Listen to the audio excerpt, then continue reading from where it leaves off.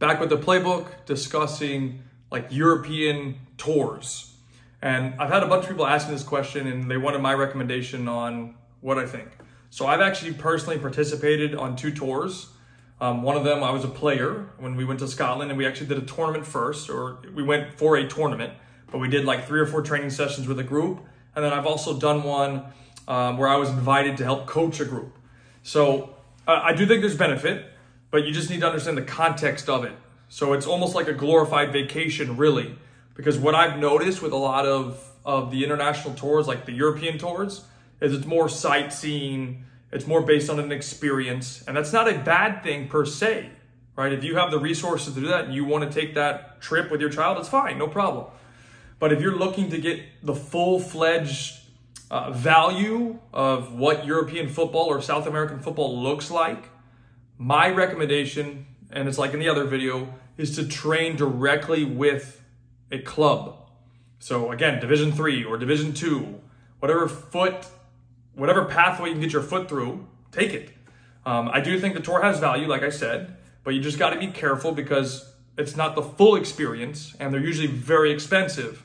Whereas you can go train with a club, get a hotel, flights, probably around the same price, and at least you know exactly what the training looks like. You might even be able to participate like in a friendly match or something. And you get the full value of what, again, European football or South American football would look like. So those are the type of things that you really need to keep in mind because I think there's value to them because you're going to have a group, but a lot of times they just kind of select random kids that nobody really knows. There might be two or three people that are friends of your player or whatever, but if you're going to go over there and, and compete, it's hard to do that without a group of players that everybody's familiar with.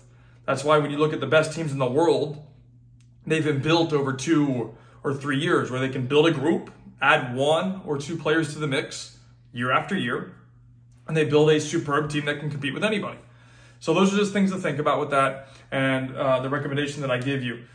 And um, you just got to be careful because a lot of times it can be money grabs. And I know that some people make a lot of money from those because they charge a set fee ahead of time. And like I said, you got to be careful because a lot of times they're really set up for sightseeing. So you might train three days, get two games, but then you're going and doing all these stadium tours and seeing the culture, which is great. Like, I'm not saying that's a bad thing, but if you want to see real football and how your son compares to the level, your daughter compares to the level, then training with a club is my personal recommendation for you. So just keep that in the back of your mind. Again, think outside the box and you'll find ways to make it happen.